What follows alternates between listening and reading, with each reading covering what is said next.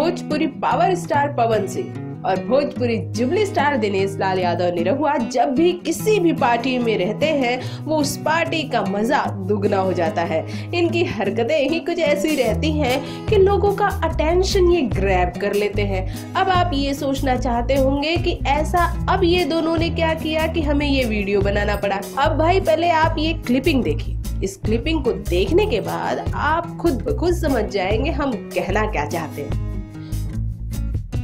वैसे ये पहली दफ़ा नहीं है कि जब पवन सिंह ने निरहुआ को लिप पर किस किया हो। इसके पहले भी कई बार ऐसा हो चुका है, लेकिन वो हरकतें कुछ और थी। ये हरकतें कुछ और है। वैसे भी निरहुआ की ये पार्टी बड़ी ही शानदार रही। शानदार इसलिए कि यहाँ कई एक्स मिले। जी हाँ जैसे पवन सिंह, रानी चटर्जी और दिनेश लाल यादव निरहुआ। और पाखी हेगड़े। जी हाँ इस पार्टी में पाखी हेगड़े भी मौजूद थी और निरहुआ की प्रेजेंट गर्लफ्रेंड आम्रपाली दुबे भी। देखने में कितना अजीब था, लेकिन ताज्जुब की बात है, एक दूसरे के साथ सभी कंफर्टेबल थे।